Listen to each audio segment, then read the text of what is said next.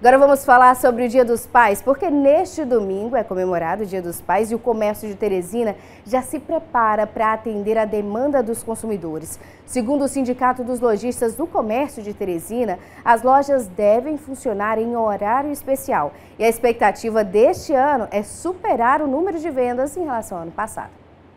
Comércio na capital funciona em horário especial neste sábado, véspera de Dia dos Pais. Conforme o Sindicato dos Lojistas, as lojas do centro da capital e dos bairros vão funcionar em horário estendido até às 18 horas para quem deixar as compras para a última hora.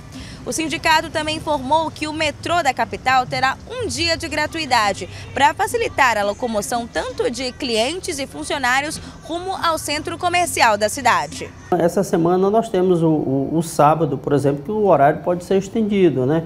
Isso vai depender muito da movimentação da atividade comercial. Se a gente tiver uma boa movimentação, a nossa convenção coletiva, por exemplo, ela já permite que as lojas tanto do centro como dos bairros, tanto funcionem até às 18 horas no centro, as lojas da Zona Leste, elas têm um horário diferenciado que vão até às 21 horas, então nós temos um horário, na realidade, um horário estendido já, principalmente no centro da cidade, que é onde, onde, nós, é, é onde se concentra o maior número de estabelecimentos comerciais, que é no centro, então esse horário ele vai, vai ser estendido até às 18 horas. Essa é a expectativa que a gente tem, né? Nós vamos ter é, no sábado o transporte vindo do, do ali da zona, da, da, da zona do Disseu para o centro da cidade, totalmente gratuito. No, isso no, no sábado, né? Isso é uma notícia bastante, bastante significativa para movimentar principalmente a, a, a, a, movimentação do centro e também da, da região ali do Disseu, que é por onde o, o,